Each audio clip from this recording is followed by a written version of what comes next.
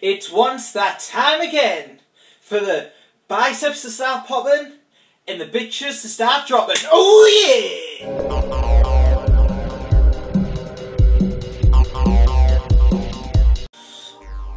What's up YouTube? Welcome to week one, two, three, four, five, six, seven, eight update from Shreddy Brek.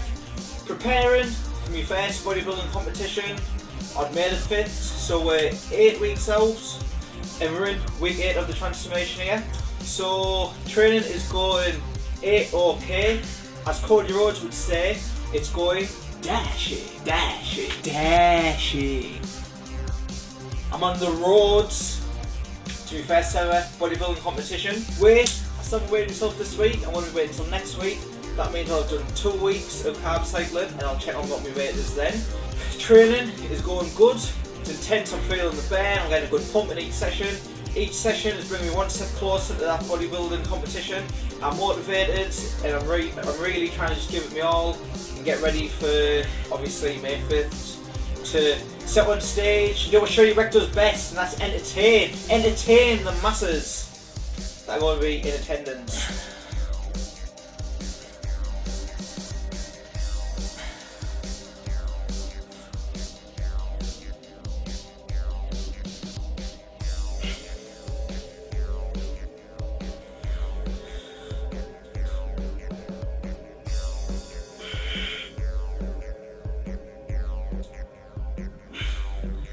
Woo!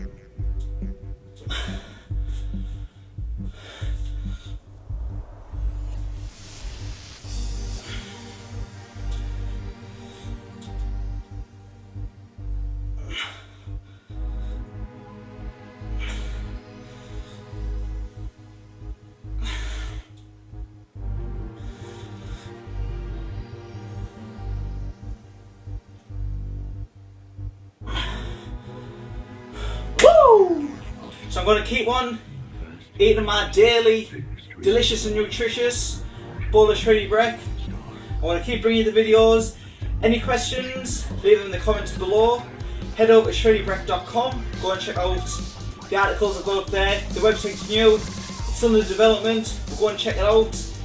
Give me any feedback, let me know what you want to see on the site.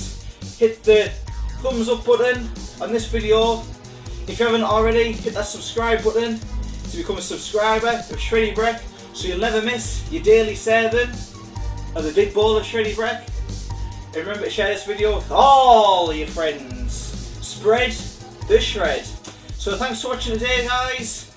That is it. But I'm not going to leave you high and dry because check back tomorrow for another video. Thanks for watching guys. Shreddy Brek is out.